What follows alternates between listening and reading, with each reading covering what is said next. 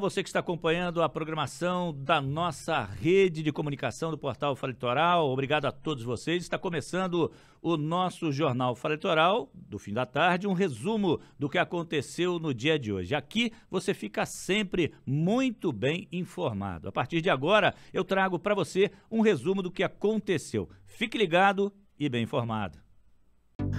Policiais rodoviários federais apreenderam 373 quilos de maconha na madrugada desta sexta-feira, dia 3, em Joinville.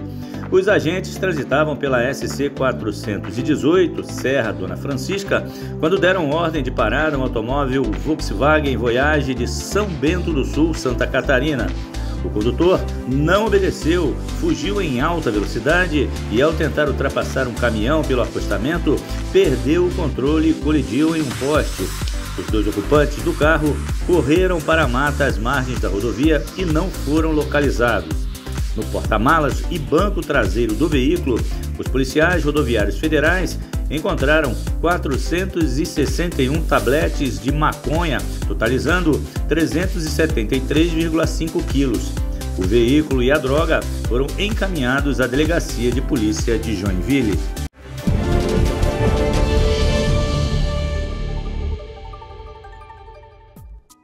Neste sábado, a atuação de um ciclone no alto mar influencia o tempo ainda em parte da região sul do país. Vai ser um dia com muitas nuvens carregadas, principalmente entre Paraná e Santa Catarina. Já no estado gaúcho, tem destaque para a redução da chuva. Mesmo com toda essa instabilidade, as pancadas são isoladas e passageiras em Porto Alegre, região de Caxias do Sul e também na cidade de Santa Maria. Já na fronteira oeste e na região de Santa Rosa, o tempo volta a ficar firme, mas ainda com variação de nebulosidade durante todo o fim de semana. Destaque para as rajadas de vento, que podem atingir até 60 km por hora em algumas áreas do estado catarinense e também do Rio Grande do Sul. Agora, no Paraná, a situação ainda é de alerta para o risco de temporais. Vai ser um dia com muitas nuvens no céu em Curitiba e na cidade de Londrina. Nessas áreas pode chover a qualquer momento e durante os temporais, as rajadas de vento podem chegar até 80 km por hora. Mínima prevista de 21 graus em Porto Alegre. Temperatura máxima chegando a 30. Já em Florianópolis, ar abafado, máxima em torno de 29 graus. E em Curitiba, por causa do tempo mais encoberto, as temperaturas não sobem muito. O dia já começa com mínima de 18 e a máxima não passa dos 24 graus. Com quantas mãos se conquista o sucesso? Muitos são os desafios. São lutas diárias que travamos para que possamos crescer como pessoas e como empresa não são cápsulas, remédios e tampouco suplementos ou cosméticos. Produzimos amor, carinho e dedicação. Entregamos saúde e bem-estar aos que procuram a Formédica Balneário. Somos o que somos porque acreditamos que podemos proporcionar às pessoas muito mais e sabemos que podemos. Quando acreditamos em algo maior, fazemos mais e melhor.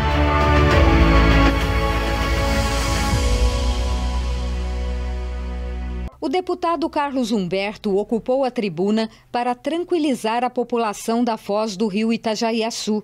De acordo com ele, circulou uma notícia na região sobre um possível cancelamento do contrato para a construção das alças de acesso da rodovia Antônio Raio para a BR-101 e a Avenida Contorno Sul de Itajaí. De acordo com o parlamentar, esta etapa representa aproximadamente 40% da obra total de duplicação da SC 486, que liga Brusque a Itajaí. O deputado se pronunciou para comunicar que obteve a garantia da Secretaria de Estado da Infraestrutura de que a obra vai sair do papel. Saí de lá ontem feliz, tendo essa certeza de que logo e ainda no primeiro semestre desse ano, a região da foz do rio Itajaí será agraciada com o início dessa importante obra que já tem as suas indenizações prontas, uma obra orçada, se não me engano, em 70 milhões de reais, com previsão de construção, deputado Egídio, um pouco mais de um ano, que trará a região norte, a foz do rio Itajaí, região norte de Santa Catarina, uma melhor condição de mobilidade, deputado Lonelli. O senhor conhece os problemas da BR-101, da região norte de Santa Catarina, por conta da nossa falta de mobilidade. O deputado Massoco lamentou a morte ocorrida nesta quarta-feira do ex-deputado estadual e ex-prefeito de Concórdia, Luiz Suzin Marini. No dia de ontem, senhor presidente e demais colegas, eh, perdemos um, um grande homem, pessoa simples, prestou um grande trabalho na sociedade, no setor privado, setor público. Senhor Luiz Suzin Marini, mais conhecido como Luizinho, foi vereador, foi prefeito de Concórdia, foi deputado aqui na Assembleia, foi presidente do Tribunal de Contas e ontem nos deixou. Eu queria pedir a todos vocês, presidente, sendo possível, dentro do tempo que me cabe, os 10 minutos, um minuto de silêncio, que é uma, pequena homenagem que nós podemos estar fazendo é, nesse momento. Esta presidência convida todos os colegas deputados e deputadas para que façamos um minuto de silêncio, conforme a solicitação do deputado Massoco. O minuto de silêncio foi uma homenagem ao político que tinha muita popularidade na região oeste do estado. Ele entrou na vida política em 1963 como vereador de Concórdia, chegando a presidente do Tribunal de Contas do Estado em 2005. Luiz Suzin Marini faleceu aos 87 anos. Na sequência da sessão, o deputado permaneceu na tribuna para agradecer os eleitores pela votação e se apresentar à sociedade catarinense como parlamentar. Ex-vereador e ex-vice-prefeito de Concórdia, o deputado falou sobre o trabalho que pretende realizar no parlamento. Pode ter certeza que farei o melhor de mim, farei o máximo para realmente contribuir com o Estado de Santa Catarina no progresso, no desenvolvimento. Entendo que o poder público precisa ser um propulsor da economia, do empreendedorismo, da geração de emprego e renda e da qualidade de vida na vida das pessoas. O deputado Matheus Cadorim, que inicia a carreira política com este mandato na Assembleia Legislativa, também ocupou a tribuna para agradecer os eleitores e falar sobre as metas para os próximos quatro anos. Uma delas é a proposta, em conjunto com o deputado doutor Vicente Caro Preso, para a instalação de uma frente parlamentar de apoio ao Corpo de Bombeiros Voluntários em Santa Catarina.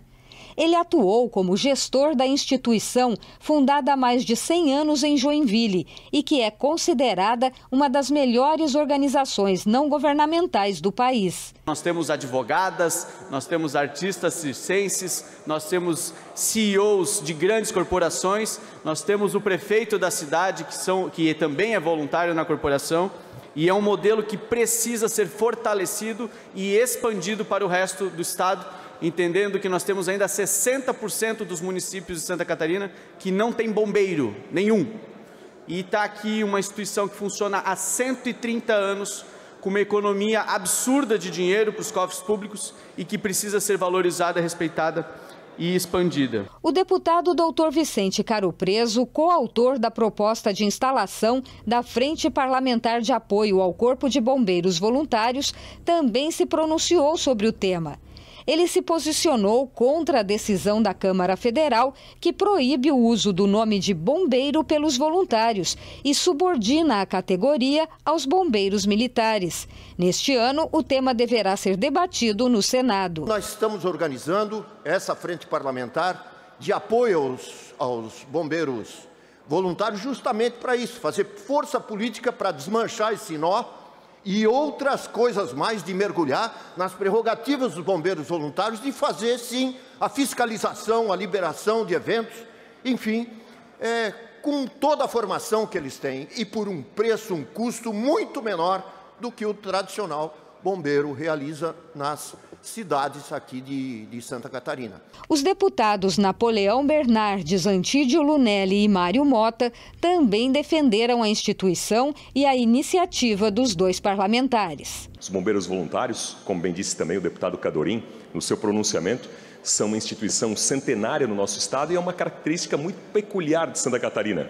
Se nós temos um modelo exitoso de desenvolvimento, Isso se deve ao modelo próprio de cooperativismo que nós temos aqui, das universidades comunitárias que temos aqui, dos hospitais filantrópicos que temos aqui e dos bombeiros voluntários que temos aqui, que fazem um papel muito proativo. Portanto, estamos aqui no sentido de endossar o apoio a essa causa para garantir as prerrogativas, os direitos e a capacidade de ação e atuação desses bombeiros voluntários que fazem uma defesa significativa da vida das pessoas no âmbito das comunidades. Conte comigo diuturnamente, é uma causa nossa.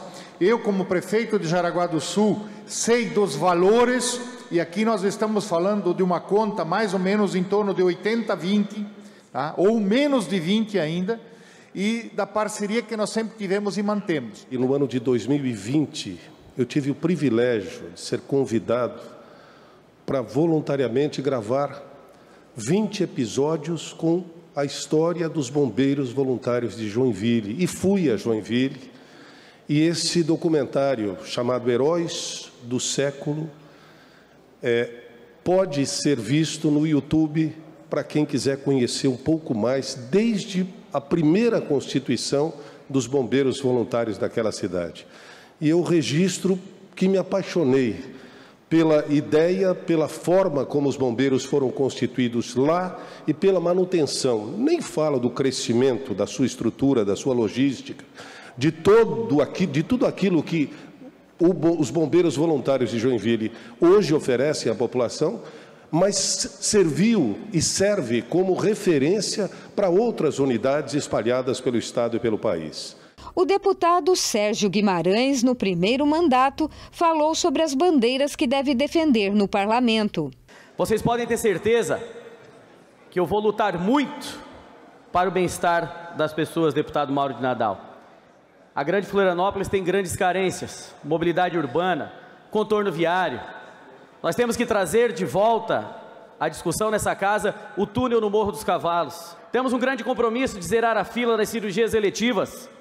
São mais de 100 mil pessoas à espera. Como é que você chega para uma pessoa e diz que o problema dela, que, que a cirurgia dela não é importante e que ela pode aguardar 3, 4, 5 meses, um ano, dois anos? É o que mais eu recebo hoje nas minhas redes sociais. Outro novato na Assembleia Legislativa, o deputado Lucas Neves, ex-vereador de Lages, propôs a criação de uma nova bancada que deverá uni-lo aos dois outros parlamentares do município serrano, Márcios Machado e Mário Mota. Estamos propondo a criação da bancada da Serra para que a gente possa unir os parlamentares que têm a sua base, o seu escritório na Serra na defesa daquilo que é importante para a nossa região. Todos nós temos as nossas pautas, mas algumas pautas são comuns. Quando a gente fala de infraestrutura, quando a gente fala de saúde, quando a gente fala de educação. Região da Serra, especificamente, a Amures, dos 18 municípios, 15 têm o índice de desenvolvimento humano abaixo da média estadual. Isso impacta diretamente no desenvolvimento. O IDH é a evasão escolar, o IDH é a mortalidade infantil, o IDH é a baixa empregabilidade, e nós precisamos unir os parlamentares que aqui estão, deixando qualquer diferença de lado e olhando para frente. O deputado Marquito, ex-vereador de Florianópolis, que também acaba de chegar ao parlamento catarinense, falou das bandeiras que traz ao Poder Legislativo Estadual, propondo um mandato agroecológico. Nosso mandato, como foi muito bem é, colocado lá na Câmara Municipal, que é um mandato agroecológico, ela tem essa pauta. E que com certeza a agricultura ecológica, a agroecologia é um modelo de agricultura muito adaptado às características de Santa Catarina, para uma transição. A IPAGRE faz um trabalho muito qualificado com o plantio direto de hortaliças, o SPDH, tem um trabalho altíssimo, de altíssimo nível entre essas famílias. Então, eu, por essa trajetória, é, eu tenho a certeza que essa será uma grande atuação no parlamento, em conjunto com os colegas deputados e deputadas, para a gente melhorar as condições de vida dessas famílias agricultoras que no final das contas, são elas e eles que colocam o alimento nas nossas mesas. O presidente da Assembleia Legislativa, deputado Mauro de Nadal, encerrou os trabalhos, informando que a próxima sessão está marcada para terça-feira, às três horas da tarde, quando o governador Jorginho Melo fará a leitura da mensagem anual, que, como determina a Constituição, marca o início dos trabalhos no parlamento catarinense. Tá, então, com essas informações, estamos chegando ao final do nosso Jornal Fara Litoral de hoje, esse resumo do dia, para que você fique bem informado. Lembrando que você pode interagir conosco através das nossas redes sociais. Acesse o nosso canal do YouTube, se inscreva e marque notificações. Sempre que entrarmos ao vivo ou trouxermos alguma informação, você vai ser notificado e ficar bem informado. Da mesma forma, através da, do nosso Facebook, você também pode marcar lá notificações que você vai receber. Nos acompanhe pelo Instagram, Vá no nosso TikTok também, no nosso Twitter. Seja nosso seguidor, seja nosso parceiro. Se quiser colaborar conosco, tá aparecendo no vídeo aí o Pix para você ser um colaborador do nosso projeto, ok? Grande abraço a todos, fique com Deus. Amanhã estamos de volta com o um resumo do que aconteceu durante o dia. Valeu, tchau, tchau.